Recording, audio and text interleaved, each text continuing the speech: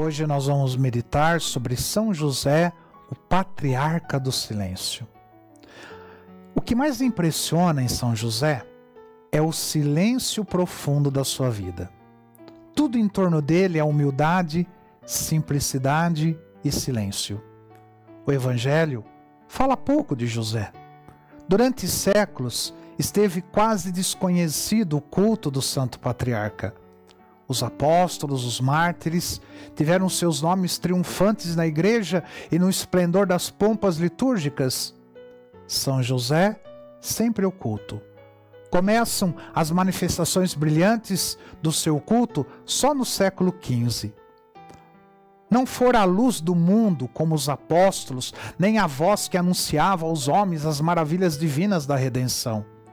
São José teve outra e bem diferente missão diz Balsot, havia de ser o silêncio de Deus, o véu do templo que envolve o adorável mistério da encarnação, a virgindade de Maria e a majestade de Jesus Cristo.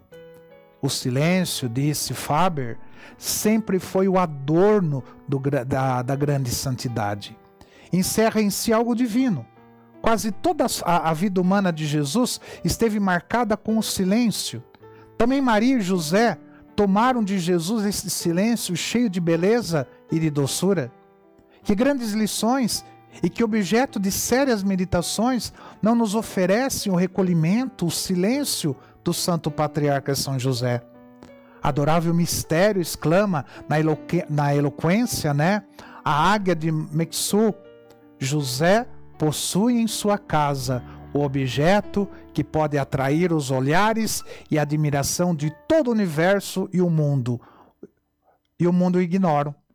Possui o seu Deus e não deixa escapar a mais leve insinuação. É testemunha do mais portentoso mistério da encarnação e nem sequer o deixa transparecer. Os magos, os pastores em Belém, o profeta Simeão e Ana no templo, publicam as grandezas do filho de Maria. José se conserva em absoluto, em profundo silêncio. Poderia dar testemunho do mistério da encarnação e do nascimento miraculoso de Jesus? Que pai poderia ficar calado diante das maravilhas de tão grande filho? E, no entanto, apesar de tantas almas haverem celebrado com zelo e entusiasmo a glória de Jesus, nada tem o poder de fazer abrir a boca a São José para o obrigar a revelar o segredo de Deus que lhe fora confiado. Admirável silêncio. Que humildade heróica! Houve na terra santo mais humilde, mais obscuro e mais silencioso? São José foi realmente a sombra do Pai Eterno, diz Hermann Erlo, aquele sobre o qual projetou densa e profunda sombra do Pai são José, o homem do silêncio, o patriarca do silêncio. Eis a glória de São José, ser patriarca do silêncio. Rezemos o Lembrai-vos São José. Lembrai-vos, ó Puríssimo Esposo da Virgem Maria, que jamais se ouviu dizer que alguém tivesse invocado vossa proteção, implorado vosso socorro e não fosse por vós atendido. Com esta confiança venho à vossa presença.